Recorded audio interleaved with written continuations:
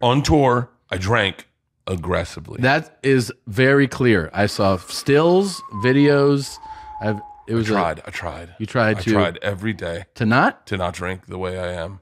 Every day it was. I mean, like I'm actually gonna say that I'm powerless to alcohol because I would go. That is what they say day one in rehab.